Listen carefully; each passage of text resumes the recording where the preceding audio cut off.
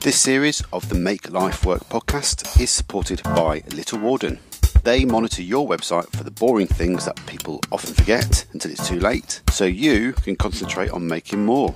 Plans start from £25 a month, but Make Life Work listeners get an exclusive 60 day free trial, plus all the referrals will be doubled, especially for the mental health charity Mind. Get your account today at littlewarden.com slash make life work. Welcome along to another episode of the Make Life Work podcast. I am Si Jobling at Si on Twitter, and on this show, I talk to a range of people from around the tech scene about how they find a balance for work, life, well-being, and side projects. This week, I've invited along Kevin Cunningham, a freelance web developer from Brighton. Kevin has recently taken the plunge into freelance development, following agency work and previously teaching. He's also a family man, avid camper, and also keen on his side projects like me. So, as always, I thought I'd invite him along to talk on the podcast. Time to find out more. How you doing, Kevin? Yeah, I'm doing well, thanks. I. How are you? I'm pretty good. It's Friday. Yeah, it's not raining for the moment. I see blue skies outside, so that's Oh. nice as well. I see blue skies, and with that Irish twang, it sounds like you're singing almost. Yeah, well, the rain's good for an Irishman as well, so yeah, I'm doing very well. You're accustomed, and I guess you Yeah. you live down on the coast, don't you? Like on Brighton. Mm. yeah, yeah. So the wind picks up a little bit, but um, yeah, we've avoided the recent storms for the most of them anyway. So Oh. yeah, it's pretty good down here. You lucky uh, man. Yeah, we've had some pretty terrible storms in the Midlands over the last hmm. week, but you know, we persevere. We're British. Absolutely, stiff upper lip. Cool. Right, let's get on with it then. So, before we get into your current role, I'm intrigued about Yeah. your background in education. Mm. So, what took you down that route originally, and some of the the good stuff? Let's talk about first.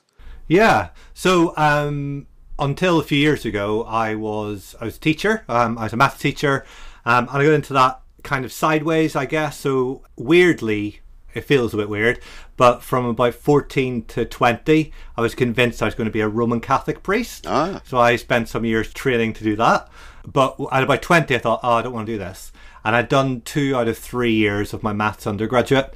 So finished that up. And then teaching felt like a way to combine sort of like pastoral stuff, like uh, people and maths. So I moved to Brighton, did my PGCE and, and hung out around here, which was great. So teaching's brilliant. I really love teaching. Um, there's those kind of moments of, especially teaching maths, you have that journey of people showing up in a classroom thinking, I'm really bad at this. And after a month or two, seeing confidence start to grow. And that was kind of the big bits of teaching was being able to be part of people's learning journey and seeing it positively impacted by that, which is great.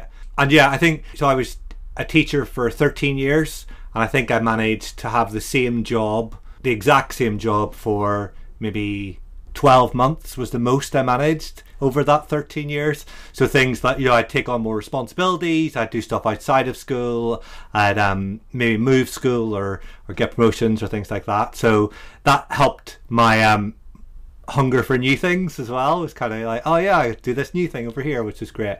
So, um, you know, I was head of maths for a while. I did some um, consultancy in other schools to help develop teaching and learning. I was an assistant head teacher.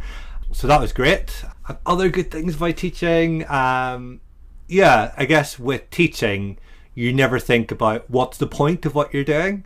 Um, oh yeah, I'm teaching. Like that, that kind of has a very. It feels like it has a purpose built into it.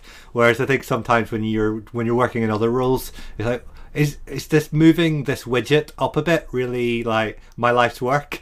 you know. So yeah, I think the good thing about teaching was like that sort of um, inherent purpose that was kind of built into it. Um, but yeah, yeah, I, I had a lot of fun in the classroom, and I think like most teachers say, um, that's the fun bit when you can kind of close the classroom door, go into the classroom, and just be with those sort of thirty students, um, as opposed to all the other stuff that's in and around education and schools. Um, sort of making those hour long sessions with those young people um, as helpful and useful and engaging and meaningful was kind of um, challenging and fun thing to do for for those years. Interesting. I mean, um, before we go into the, the, the other side of all the teaching, what you did, my wife is also um, like a, a, leader in her school, secondary school. Uh, more creative stuff, less less like mathematics. Which is a very creative subject, Si. But maths is a very creative subject. Yeah. well, it, it's it's one of the core subjects. Is it? Did they call it core? I can't remember how they yeah. how they name them. So, but she does a lot of the stuff like arts, design, media, music, drama, all that sort of thing. So it's the less required qualifications, the stuff that the kids kind of should be interested in, but occasionally they just do it because they go, ah, it's an easy ride. I'll, I'll do art. It's just dicking around for two hours a day. So, but she gets a huge kick from just seeing these kids come in and go, wow, they've got potential, but they, they do need that help. And then seeing that evolution over time, even in a short period, she's like, it's, it's so rewarding. Yeah. And it must be wonderful to be able mm. to give that back yeah. to society, as you say. Yeah, and you know the the moments when you get that are you know they might happen once a week. You know, if you're lucky, that kind of thing. You know, so you're kind of living for those kind of that. And it's a real adrenaline boost of, oh yeah, that's why I'm doing this, or that's why it's there.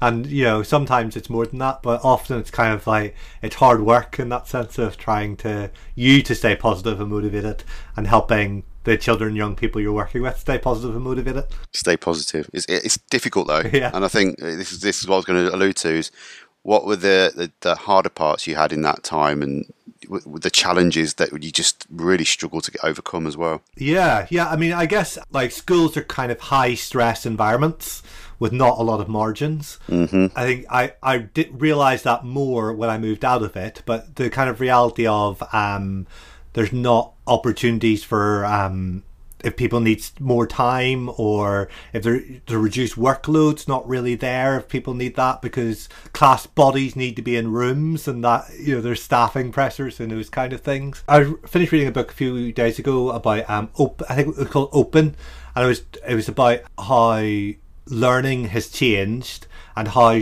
workplace learning and school learning has been slow to catch up with with the change and I think there's a reality that we're quite still an authoritarian driven kind of experience. You know, central government says what we need to do, tell local government and academy chains, tell head teachers, tell teachers, tell students, and there's this kind of pressure of or this kind of pushing down of pressure from from prime minister to you know johnny who's just walked into his year eight class. Um, and that kind of compounds on top of there. So it's quite a high stress environment in that sense. There's that like exam results are ridiculous you know like if if you watch The Wire when it was on a few years ago, that kind of sense that if you measure something, if there's a statistic that you're going to measure something on, everything changes to maximize on that statistic. It just like without without anyone doing anything else. So when you say exam results are the most important things, things like art get pushed to the side, or thing when you say core subjects, maths, English, and science are really important. So that means that timetables change because we need to do well in league tables because parents look at that and Ofsted looks at that, and so there's quite a lot of pressure in that, which can lead to people feeling insecure. Um, mental health stuff is huge among staff and students. So it's really challenging. I joke that I grew up when I left teaching. Um, like I felt like I was treated like an adult, even as like an assistant head. There's a reality that you know, for someone like me who went from school to uni to school. There's still that um, oh, it's the head teacher or it's the Ofsted inspector. Um, there's not that inherent confidence in what you're doing. There's more. You're always being judged and aware of being judged and aware that oh yeah, that challenge of making sure that you're confident and you can get on with it. And when there's so much pressure, you can forget that the fun is with the kids and the important thing is that they're learning when there's exams to be done and curriculums to be finished. And so that, that's probably most of the challenges around that. Mm, I mean, you've touched on a few points there about, you know, the demands from the top, as it were, with, with education. Mm. It does feel very archaic and it, it kind of takes away that autonomy that you want as a teacher as well, and even as a head teacher, because yeah. I think every head teacher has different demographics to work with. But when they're trying to comply with mm. Ofsted and politics and all this, you think you're yeah. ruining education. Yeah. You're not allowing us to get the best out of the kids that we've got.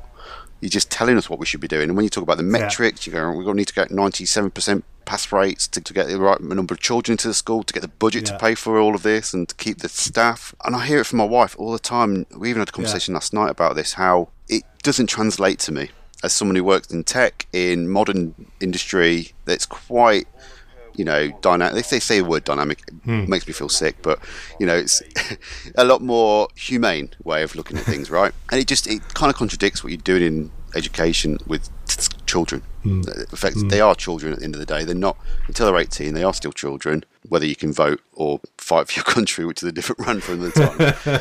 um, anyway, I was, I was going with all this. It was yeah, it's around the fact that you know, obviously, you struggled with these pressures that were coming from the wrong points of what you were trying to do. What did you try to do to overcome those mental challenges? I guess more than anything.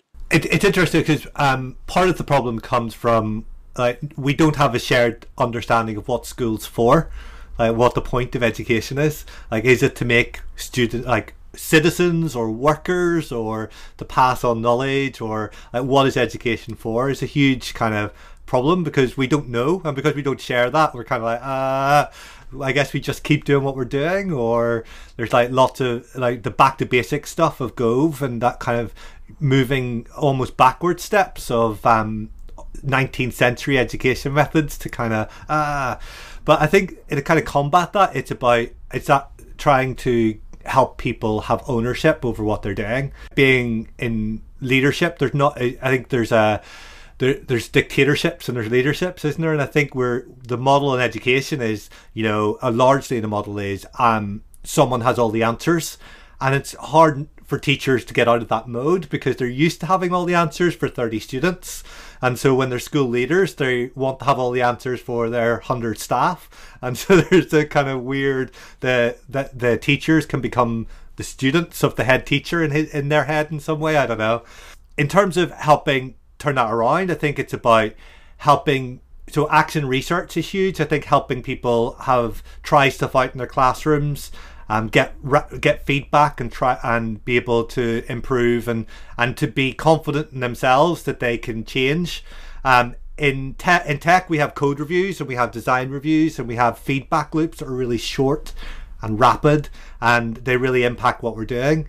A teacher can go a whole year between um, someone coming in to look at their teaching and often top down judgmental that here's what you've done wrong and here's your grade. If i was graded on every pr i think uh, it would be quite a paralyzing experience. So i think like trying to find like more natural encouraging ways for people to try stuff out to get feedback and not and to want feedback because I think there's a sense of like um, teaching can be a very part of your identity kind of thing, um, and someone saying, "Oh, you could do this better," can be quite uh, intimidating or like it can feel quite like you're like you were suggesting with your wife like it feels quite um insulting for you to come in here and tell me I could be doing this better. Like you don't know how hard I work.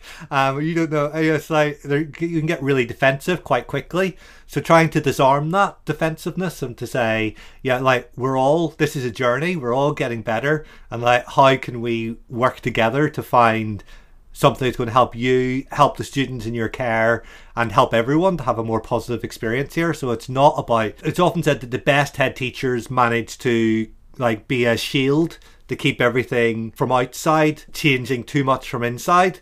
But I think that's also true in education. It has to be almost true all the way down.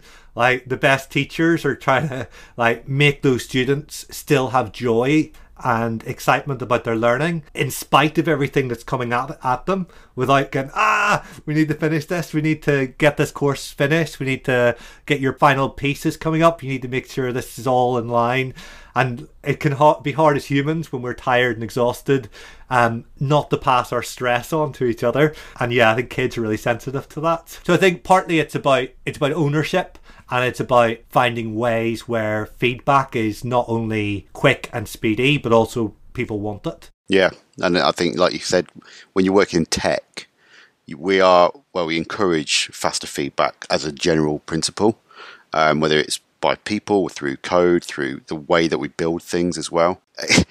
I love to see the paradigms and the differences between different industries as well. Because I think we're quite very lucky in tech that we get these Yeah. very forward thinking ways of thinking. Doesn't sound right way to say that. Whereas education just needs to catch up. I talk about my wife a lot with this because she's been in this doing mm. education 20 years nearly. And as a, as a senior leader as well, she's working cross academies now mm. to try and improve the teaching as well as the kids and actually hmm. improve the management of the teaching as well. So she's kind of layering it up as sort of a consultant almost to kind of go, well, I see that working quite well. I see hmm. that working quite well. Let's pull this together in a little framework or a, a, course or something. Yeah. So she's very lucky that she's got this opportunity to do this, and she does work with some people that get it as hmm. well. But I think the education out to your seniors is the hardest part in any job. I mean, I, in mm. tech, I, I have con difficult conversations with my mm. leadership, my seniors, Yeah. Yeah. saying, "Look, why are we doing this? Why do you need this? But what's the point in doing this thing?" And having the confidence to ask for that and do it openly and honestly. Trying to get that into a teenager, mm. good luck Yeah. honestly, I mean, I know they come across quite cocky, some of them, but they are they're dealing with their own things at the time, and to add that confidence into children is so difficult. So, I'd love to know how we could do this, and I think we- we can talk this all day. Yeah. We'll, we'll do this as a separate topic another time because I've got a, a, another project I'd like to talk to you about based on all this. Oh, cool. Yeah, so let's put a pin in that for now, and we'll we'll get you back on that one because I'm just mindful of time, and we haven't even talked about what you do now. So when you kind of went, you know, I've had enough of education. I enjoy web development. What happened to that tipping point? Where, how did web development get into your mindset, into your conscious? Um, how did you transition your role into into the agency work that you started off with? it was a forced thing for me. Um, I had PTSD, and some of the stuff we were talking about about conflict and, and loud noises and and those kind of things are kind of serious triggers. I was managing for a long time, and that got harder and harder to manage to the point that being school environments just weren't helpful. So it became clear that I needed to transition and find some something to do. And I think there's a lot of teachers who want to leave teaching. Unfortunately, you know, it's not an environment which people go, "Oh yay, I get to do this till I'm 68 or 72 or whatever the um, state pension age will be by the time you get there."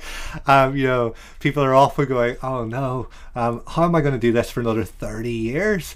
And as you get to more senior positions, there's a, "Oh, but I'm I'm priced out or I can't afford to um to step sideways or to do something else. And I think I was in a position where I had to look elsewhere um, and coding had always been part of like I, I love learning which is part of the reason why I love being a teacher and love doing action research and things like that. But I love but coding had always been in the background um from like 11 and when I was thinking about well am I going to be able to get back into the classroom? Am I going to be able to get better to go back in again? A mentor of mine suggested doing um, an online boot camp and I hadn't really thought about it but I gave it a go. Um, signed up for one called the Code Institute. They're based out of Dublin, and they were remote, which was great, which meant that um, I could do that sort of in and around when I was feeling well enough to be able to handle stuff, which was great. Um, and what that allowed me to do was to go was to understand that all the stuff I've been learning for years and been like when I'm spending holidays learning a new programming language or building something um, that to get an overview of how it all fit together. So I think I had like lots of silos of knowledge, and what the bootcamp did was not necessarily taught me the individual bits, but helped me to join it all together. I was like, oh, actually, I could do this, and I know this, and it's oh yeah, that's really helpful. So I did that, and then I was aware of not wanting to commute to London. Um, I know you commute to London, and hats off to you. But I was very, very, very um, clear that I didn't want to do that. But I, I also knew that I was going to have to take a pay cut to that. I, you know, I was so we kind of sucked it up and worked out. Okay, we can manage this, and um, made some changes. Um, and I looked around, and there's two companies I was sort of interested in. Applied, and I got a job at yeah, at CogApp, um, who are a small digital agency um, based in Brighton. So you, you you took the plunge into CogApp in Brighton. So you were living in Brighton when you were looking at this career change then, and then the Code Institute in Dublin. Was that something you did prior to moving to Brighton, or was it just kind of coincidence? Yeah, no. So I I did it in so just before I got the job at CogApp. Right. So as I was off work, ill, I was off from teaching ill. Right, I was okay. able to do that flexibly through. So yeah, that was. Uh, so the web development became a a realistic route. I think before it was, oh, I suppose I could do something, but you know, I've been a teacher for this long. Am I completely de-skilled for everything else in real life, or all the rest of it. So landing at CogApp was great. So they they they've their company. They're a small agency now. They're they were twelve or thirteen when I joined, and they've been going since eighty four. So Wow. they started off are making. They work with um, Microsoft building CD-ROMs, and they they did a lot of cool stuff with there. And their main business is working with um, cultural institutions like um, museums and libraries and art galleries and helping them deal with big data before big data was a thing really. So once you've digitized a collection what do you do with it? How do you make documents interesting? How do you make them searchable and discoverable? How do you make 3d objects that you've got these renders of? Uh, how do you make that exciting and helpful and useful? So you know they they work in, in that space. They work really internationally with you know from the british library locally and with um art museums like the MoMA in New York and um, the Los Angeles um, Museum of Modern Art and lots of um, lots of different places around the world. And when I was there, I got to work on two big projects. Mostly, one was a was an art museum in Texas, obviously, um, called um, the Kimbell Art Museum, looking at um, how they could make their collection really interesting and help and, and discoverable, and also on the Qatar National or Digital Library, um, the QDL, which is a project between the British Library and the Qatar um, National Library, where with a digitization project that deals with sort of two million documents growing every day, really, and so making those searchable and interesting, and um, how do you link them, how do you present them, um, looking at user features, but also looking at infrastructure. So it's kind of the really fun thing of CogApp was that it's a small, small tech-based firm, really, who go into museums and say, well, we have these tech skills that we can help augment and help you like bring your ideas to life. So I got to work everything from like AWS provisioning of basic services through to sort of Python and Solr and things on the back end and um, through to like PHP and Drupal and um, Laravel in the middle and, and JavaScript and Vue and React on the front end. So proper full stack kind of um, journey through that, which is really exciting and really fun. And what was interesting for me was that working in that company was kind of I felt treated like a human um, in a way that I didn't find in education. And I think when you're a company where you can say, actually, these people are um, what make us be able to make money. And if we don't look after these people, we're not going to be able to make money. And that and um, and it, it it's cost effective for us to look after our people. I, I mean, that's probably they're they're lovely people. That's not wouldn't be their primary motivation, but you can see that's that could be where it could you could get that from. Um, whereas in education, you only have a certain amount of money to be able to do to deal with, and you need people in classrooms, and so you know you can't have away days for everyone that are team building, and you know we can't take everyone out for nice meals. We can't do you know have fun things. We can't do hack days as often, or we can't do you know we can't do all those things that as tech workers um, we get to benefit from really helpfully, and it's great. So yeah, so I think working there was great because I learnt lots was treated like a human and i uh, after about a year i started doing four day weeks which is amazing and i recommend to anyone four day weeks are are amazing I'll bet, yeah. so it sounds like you went through that difficult time of going, right, okay, I'm, I'm, you're not quite enjoying schools, obviously. You took some time out, which you needed. You used that opportunity to upskill a little bit and explore other areas and stuff that you actually enjoyed previously anyway. And then find the opportunities that worked for you, you know, at a cost, I guess, for initially, but you make you could make it work. Hmm. But knowing Yeah. that it was probably the right direction for you long hmm. term. So again, hats off to you. I mean, you mentioned the fact that I travel to London hmm. daily, and you made a decision. I don't want to do that, Yeah. which I completely understand. Unfortunately, I don't think that there, there weren't the right opportunities for me nearby. Um, I had to look for London, and through circumstances in in ASOS, I was kind of forced to move from Birmingham to mm. London office. Mm. So that again was like, uh, Yeah. you want your job, you're gonna have to travel for it. I, uh, and I do want this job. I enjoy it. I don't want to lose it. So you know, suck it up. And it's worked. It's fine. I've acclimatized to the traveling, so it's not too bad. But anyway, going back to your point around Co- CogApp, as you call it, it sounded like the ideal role. You know, you're doing culturally cultural stuff, so you still have like an education part to it. It felt good, and the environment was just ideal by the sound of it as well. So, what what would you say would be the best part of working at CogApp then? Like I think with any good company, it's the people, isn't it? So it's Mm. so like great team. I'm really wanting to like really passionate about wanting to learn new things. Like, I think you know the company going for that long, who'd worked with that many museums, you can imagine. Oh well, we know it all. Whereas like there a, a hunger for oh that's interesting over there. Well, like could we use that? Could that make our work better? Could we improve on that? So there's a real drive towards innovation and, and learning in that kind of sense.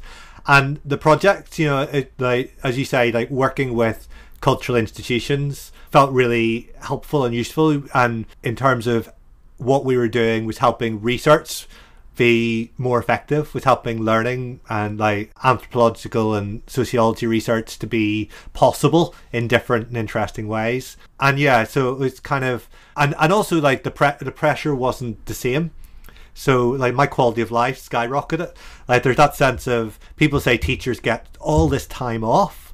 You know, you got like twelve weeks off a year. It's mental. You need it. But you know, like I I feel like uh, teachers live on adrenaline, and so I I know all the way through, like especially for the last five years in education, like we couldn't plan to do anything the last two weekends of a half term.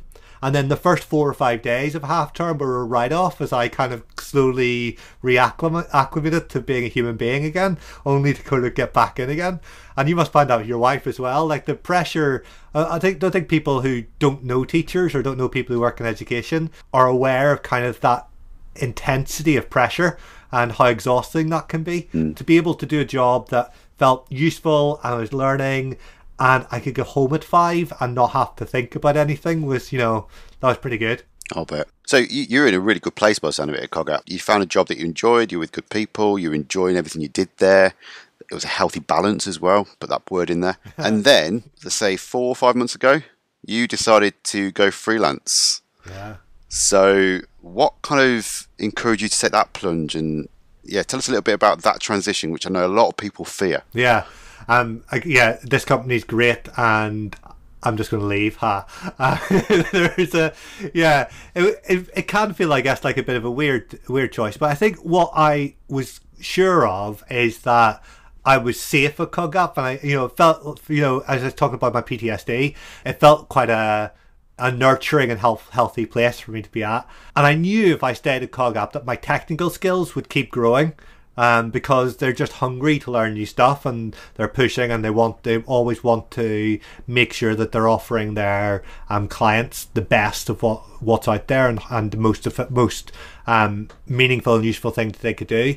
But as a company that's been around for a long time and as a small company, a lot of problems have already been solved. So, how do they find clients? How do they nurture client relationships? What do they do when client relationships go south? What do they do when projects go south? You know, how what do they do with project management? What do you do with uh, and all all those kinds of questions? In some ways, were already solved, and I'm someone who likes to solve those kinds of people problems as well. And in a company where I'm a, I'm a tech person, and there are people people who are doing some people stuff, I couldn't necessarily see how I was going to be able to grow those people side of things. I think we're thinking about side projects. I think we got me thinking more and more about you know having my own thing or um, growing my own thing. What would that look like? And if I do want to do that at some point, am I setting myself up for that now? Or I think I came to the conclusion that for now, where I'm at, I'm not. Um, I think I, I I want to grow that entrepreneurial business side, and so stepping into freelancing was kind of the first step in trying to work out what that looks like. But yeah, I think in terms of um, lots of people fear it, I think I'd done that. I'd already made the jump from education into web development, and so I wasn't as scared. And we'd already set up how we would manage with less money. So you know, I earn more as a freelancer, and but work maybe isn't as predictable, but it, it is quite predictable. But it's not necessarily secure. But I think like the, a lot of arguments are around that kind of sense of is it more secure to have 10 clients who are paying towards some of your sa- salary or one client who you could lose your job and lose all of your salary? There's that kind of what is security anyway? So i think i think we'd, we we chatted my wife and i chatted lots about well she saw i had itchy feet and like wanted to try it and so we said well we'll give it a go and yeah it's so far so good. So yeah, it sounds like you use that experience from the previous transition to your advantage there. You'd built up that confidence and braveness to say, we can do it. It's, it won't be easy, but I'm willing to give it a go. And as a partnership as well, you both invested in it as well. And you know, you had other options. Like you say, CogApp wasn't a bad place to be, but you had other things you you wanted to try that they'd already solved, which again, it's great to see that you've got that desire to push yourself beyond those comfort zones. I mean, we'll wrap this up in a bit, but how have you found that these first sort of five, is it six months now? I think you've been freelancing? Yeah, it's kind of, um, it's it's freelancing, but it's kind of not at the moment anyway. So um, basically, I'm working alongside um, a friend of mine called Martin Edwards, and he had a, he had a company for a year or so before I went freelancing called Spin Up, and almost all of my freelancing it's actually just me it's me and martin working together um, and we're looking at oh, making that more formal going forward. Um, and spin up is um, about one of the things or the main thing that we try to do is um, do rapid digital prototyping. So we work lots with digital agencies who maybe don't have in-house tech teams but have ideas for products that they want to try out.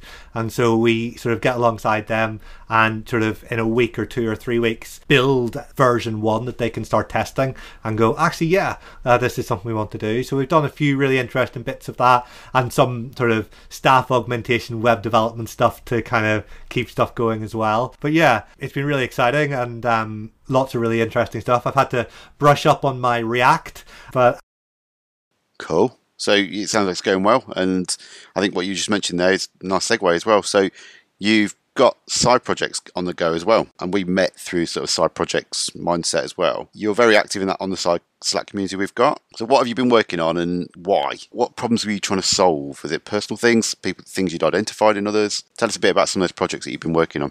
Uh, I think the joy of learning is kind of like over overstated so but or, or, or maybe not talked about enough. I really love learning new stuff, and often like my side projects are a vehicle for me to try stuff out, um, to give it a go, to learn a new technology, and to yeah, to have fun. And so like when I was saying about in when I was in teaching, the the second half of a holiday when um, I was I was kind of more human. I'd maybe learn a new programming language or I'd maybe start doing something like that. And so side projects have always been that kind of vehicle to be able to to learn to be able to learn and be able to move those things forward. And I'm really interested to work out where my side projects are going because I often don't have any ideas. I feel like oh I could do this or this or this and so some things get a partly down the track and and stop a bit the slack community that we, we're part of on the side um, is great um, and one of the things that i've been trying and going freelance has been about um, skilling up on seeing those little projects from start to end it's that finishing bit i sometimes don't get good at or i'm not as good at it's the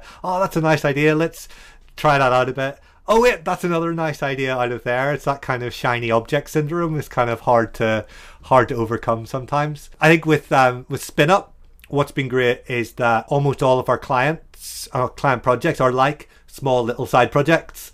Um, so that ability to take an idea, to talk with the client and coach them through like what are we trying to get out of this, do that discovery process and get that initial iteration through. I feel like that's skill that's skilling me up to kind of work out what my next idea is going to be. So I I feel at the moment I'm I'm still learning, writing, thinking and sort of keeping an open ear and an open mind to work out what is the side project going to be. And the reality is it mightn't be anything beyond learning stuff, blogging about stuff, finding out stuff. I'm working with Egghead, who are like a an online training platform, to be um, a learner advocate for them, which basically means like learning in public. So like taking notes and sharing notes and attending stuff and and kind of there. And I think my background education and my love of learning has to fit into my side project somehow but I'm still not sure what that looks like. So it's still that kind of ah, well, I'm still I'm still in the discovery process about where my side projects are going and that kind of thing. And what keeps me passionate is just learning new stuff. I really want to keep doing that. I think in in freelancing and in small businesses, there can be a danger that there's so much going on that you lose the ability to do that, to use the, ta- the time and the energy and the motivation to keep learning. And I guess in my web development career, I'm still quite early in that but I really want to make sure I don't stop learning stuff. And side projects are your vehicle for that for me. I think really, I, I love the fact that you are kind of using side projects as an opportunity to learn, which I think is always a good thing. It's, a perfect opportunity because it's no, there's no commitment. It's just you and your baby, and you get to play with things that might come out or might not. And I think having that mindset that it doesn't have to work, it doesn't have to be successful, but you have learned something, so there is a success there for you individually. Like as you know, I, I'm a sucker for a side project. This being one of them, and I, I'm aware that some things don't succeed. It's fine, but I've learned something from doing that and having that mindset to go. It's okay. I learned how to build something in React or Gatsby as we both did last year. It was the Rugby World Cup Times website. I was like looking at a new way of building it. He suggested Gatsby, I think, at the time. I was like, cool, yeah, that's new tech. I'll have a play with that. It works and it ticks a box for me, so I learned a few things. No one bothered using it, but it's fine. And I was like, yeah. it doesn't matter. I feel like I've achieved something, and I might find that template works with a different sport, for example, in the future. Now, it turns out we're rebuilding the Formula One calendar in a completely different stack, but it's fine. Again, we're all learning through this. So, yeah, I think you hit the nail on the head of that, though. The fact that as long as you're learning, that's probably the main benefit of side projects. If other people enjoy it, brilliant. Mm-hmm. If you've enjoyed it, the most mm-hmm. important thing is that your phrase of the joy yeah. of learning. I think that might come through quite a lot here. And your learner advocate stuff with Egghead, that's that's something that I think we should probably tap into another time because that could be a massive tangent as well. right, we talked a lot about work and side projects and coding. I think you know we, we understand where you're at now, but you are a family man. You're married with kids. How the hell do you balance all this stuff out, especially as a freelancer now? How do you find those boundaries to just enjoy your family and your personal time, but also enjoy work as well? Yeah, I think when you were um, pitching the idea of this podcast a few months ago, we were talking about we looking at your logo and we were talking about what does balance mean?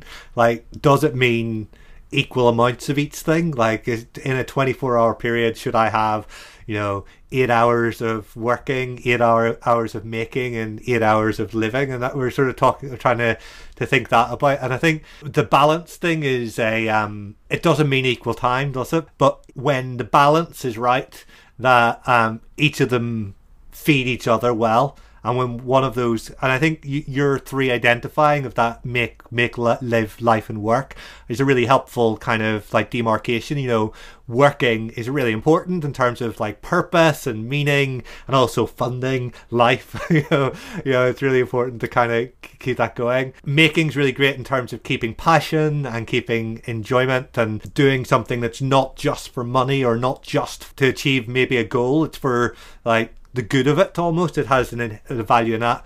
But like the life thing, I feel like is that kind of important element. I think so. I've got yeah two boys. My, I've got a five year old and a seven year old. My wife and I've been married for ten years. Just gone December. It's been great. And yeah, I think I've always been pretty good at that boundary thing. I was a bizarre person. I got home from work at six, and almost always I was able to stop then you know, I got I get to work at sort of seven. I'd stay till about five thirty six at school, and I would try to keep it there. Um, so that when I got home, I didn't have to. I didn't have that stack of books just sitting there on the kitchen table waiting for me to mark. I was m- mostly able to do that, and that sort of paid off because with freelancing, I'm able to do that as well. Um, I have a separate. I've got. I, I we were we were talking earlier. I'm sitting in my shed and I'm able to work here, so I'm able to then close the shed and lock it up and head into the house at the end of the day. But I'm also able to like when the boys get home from school, I'm able to nip out and like have a cup of tea with them and I head back out again. You know, there's that flexibility which is enriching, which has been really helpful. I think like having interests that we do together. So like like yourself, I'm I, I love um, getting away camping. We got a camper van. I love getting away, um, like sitting around a fire. My wife runs, so you know a Saturday morning might look like her running from our house to the seafront, which is about a sort of five miles um, to get where she runs to. We'll drive down. Um, we'll make bacon sandwiches in the van and maybe go for a swim if it's a hot day or just you know. So you know, it's those kind of um, those little things that have been really helpful to be able to to make that all balance in some ways. It's that I used to be a maths teacher, and the maths kind of side of my head or the physics kind of my head is that kind of you balance things out by, but some things are heavier. I think experiences with our families like we don't get them we're not doing them as you know for the 40 hours a week that maybe we're doing or 6 50 hours a week we're working but like making those as impactful and and like being present for them i think is really makes it possible. So it's that kind of I find trying to t- not have devices near me when I'm reading or playing with the boys. I'm trying not to, you know, to be able to play games with them or to be present with them when they're around makes it more meaningful. And then trying equally with with Kath, I think there's a reality that sometimes the end of the day we can veg out in front of a TV, and um, there's times where you actually we need to go. Actually, we need to put some effort into this. Otherwise, we're going to, you know, don't want to take each other for granted. Don't want to take the boys for granted, and just kind of, yeah, thinking about balance and thinking about are we getting it right is almost like the most important step toward getting the balance because we won't get it right and we don't get it right, but we readjust and we try, and then oh man, we went too far one way, and you know, I think I think the trying bit and being mindful of is it working or is it not, and being reflective about that makes makes a difference. Wow, loads of things in that that I'm probably going to miss as well. right, okay. The the running part that your wife does, uh, I'm gonna I'm gonna have to put a pin in that one for later. But do you do the exercise that kind of complements that, or do you just kind of you don't need it? How, how do you do you fit anything in like that? Um, I'd go to the gym. So, Okay. um, so three, so, so three times a week, I'll go to the gym for forty-five minutes or something like that. And when I worked at CogApp, that was a a fifteen-minute cycle up and down the hill. So they're trying to find little ways to build those, um, to build that in. The commute from the kitchen to my shed is um slightly shorter. um, so yeah, so lunchtimes I'll maybe go out for a walk or take the bike out for a bit. So just yeah, trying to make sure that um I keep my brain active that way as well. Um, but yeah, but running's not never been for me. But but Kath is definitely she loves it. That's cool. So the, I'm glad you get find time for fitness because that's one of the things I'm mindful of now. I'm getting a bit older as well. You talked about the camper and chasing your wife down to the beach almost with the boys and having bacon sandwiches when you got there. I love that idea. It's kind of like you're making fun out of it as well. She's got a goal. You've got a kind of a reward for her at the end, and Yeah, yeah, the boys obviously love this. It's like race, mom, we, can beat her. You know, Yeah. I, I love the fact you're making the most of those opportunities to just get out with the family and get away from screens, which you talked about as well. So you, I don't think you did. You say you do game or you don't? Um, not re- not really. Um, I, I I kind of go through phases of it. Like I have a, a Switch and a PS4, and I'll get into it, but I, I kind of never it never sticks. it's kind of I feel like oh, I should probably be better at this. But yeah, yeah, but yeah, my seven year old loves Mario on the Switch and would gladly just do that forever. But goes into a strange headspace when that happens. So it's that kind of balancing screen time for for them is really like so and helpfully modeling that is sometimes yeah more challenging. Indeed, yeah. My lad is very similar. He, if he given the opportunity, he would just sit on his, um, I think it's Xbox One all day, or his Switch, just doing whatever it is with them too. So try, I'm trying to encourage him out, just read as well. And actually, he's getting a lot better at his reading. I think his teacher even rewarded him the other day, saying, "I think you're one of the best readers in the class at the moment." Good lad, well done. But I know you're a big reader as well. So yeah, when do you fit this in? Because you obviously you've got a busy lifestyle, you've got family time, and you know you do do fitness as well. So when do you fit in the books, and what kind of stuff do you kind of read as well, just out of interest as well? Yeah, so I do read a lot. Um, it's funny 'cause so I'll often be reading when the boys are so they have their sort of forty minutes of screen time together. I'll often read during that. In the evenings, we try to turn off the screens by nine, and then we'll read sort of for an hour or so then. And then yeah, it's that kind of if I get the bus, I'll bring a book. If I got you know, it's that kind of and yeah, I vary between reading sci-fi pulp fiction, that kind of like sort of not really. Oh, that's quite fun. Um, and lots of I would read a lot of non-fiction. Um, so I'm like ridiculous. And so I get up in the morning. So my boys are awake at.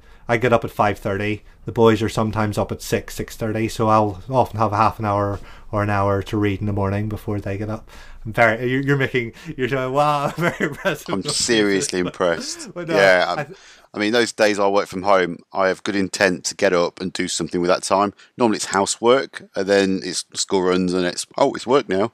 So fitting that stuff in is really difficult, and fair play to you to, for making that work. Well, I think I think it's that hunger for learning as well, and knowing like like um, there's a Japanese concept called kaizen, which is that kind of being one percent better, and it's that kind of you know trying to make sure that every day, or you know that I want to learn something more. So I'll often have three non-fiction books going where I'll read a chapter of each over a couple of days, and then because I find sometimes, especially with sort of heavier books that if I try to, it'll, I'll get disheartened if it's kind of slow going. Where if there's kind of two or three going at a time, I can kind of keep interested in all three. Um, which, yeah, is weird probably, but it also helps me link the ideas as well. So I uh, reading recently, I over Christmas, um, I read a book called um, "Taking Smart Notes" or "Smart Note Taking," which is recommended by a guy called Tiago Forte, who talks about building a second brain, about how how do you externalize your thinking. Like if you just read an interesting article on, on Hacker News or on on the Guardian and read an interesting book, and then move on, like what's the point of that reading? Was it just like does it have any impact on what you're thinking and how you're growing and what you're doing and and this book about taking smart notes was interesting about like actually taking notes. I read in the Kindle and so being able to select and take a note, rephrasing. So like not just write, not just quote, not just highlighting, but actually okay, what's this actually saying? How would you explain it to someone else? All that kind of stuff and then every day, every couple of days, I'll download those notes from my Kindle to Roam Research, which I moved to after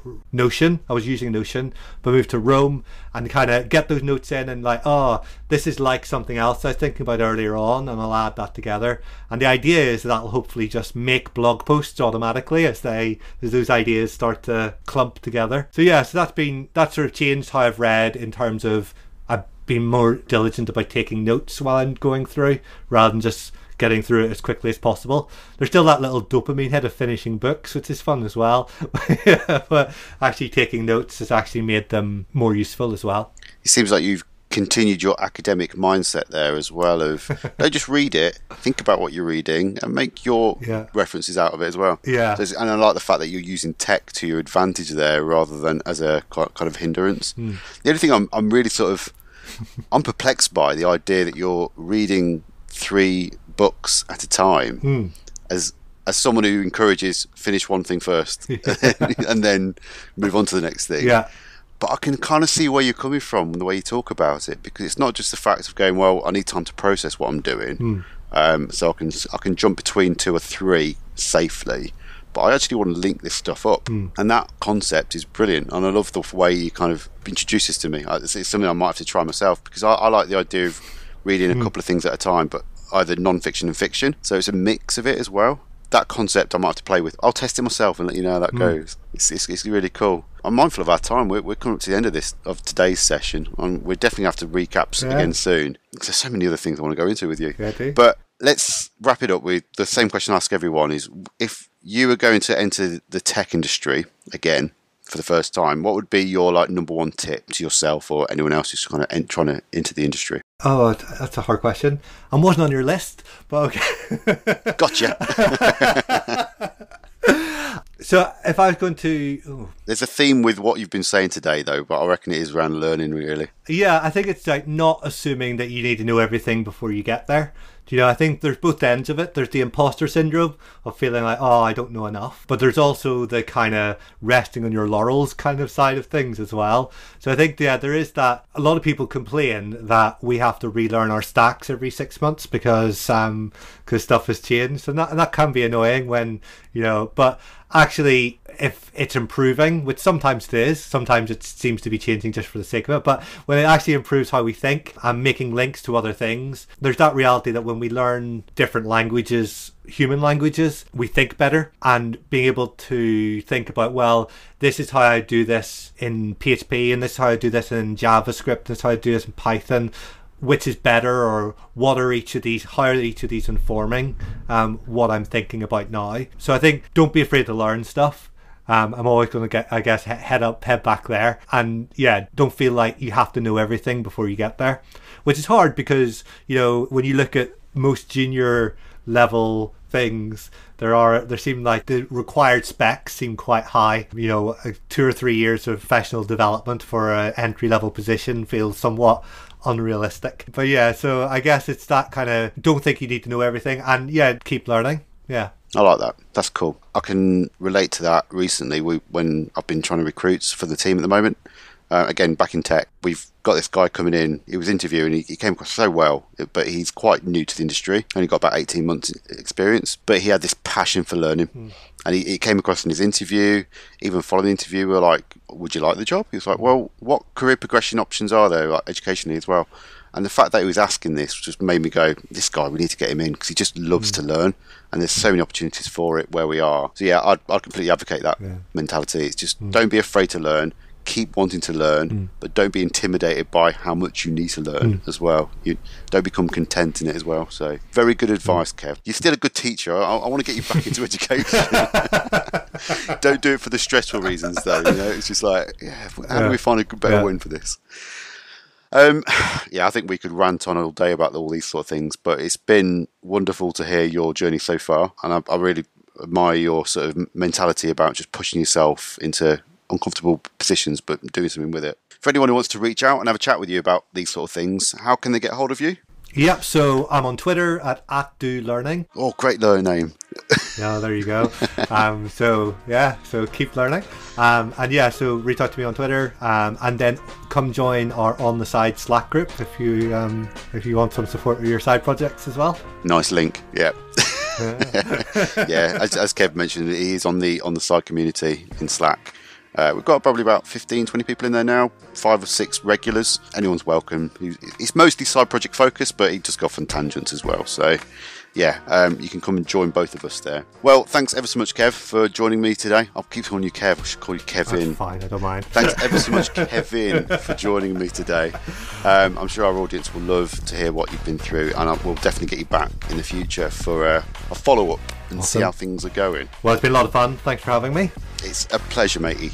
Thank you to everyone for listening, and in particular, Kevin for joining me on this episode of the Make Life Work podcast. As Kevin just mentioned, he can be found as at Do Learning on Twitter, or as we also discussed, you can find us both in our On the Side Slack community. Just pop on over to ontheside.network, which should take you straight through to open registration. You can find all the details about this podcast and all the other episodes at sidejobling.com slash make life work, or you can find us on all the popular socials as Make Life Work Pod. We're on all the popular podcast apps, including Apple, Spotify, and Google, so make sure you subscribe rate, and maybe leave a little review so we know what you think of it all. Finally, if you're interested in the making of this podcast, there's a series available at youtube.com slash sidejobling where I talk about things like the logistics, the branding, and all sorts of other relevant topics. That's all from me. Join me next time when I'll be inviting along another guest to talk about balancing their work,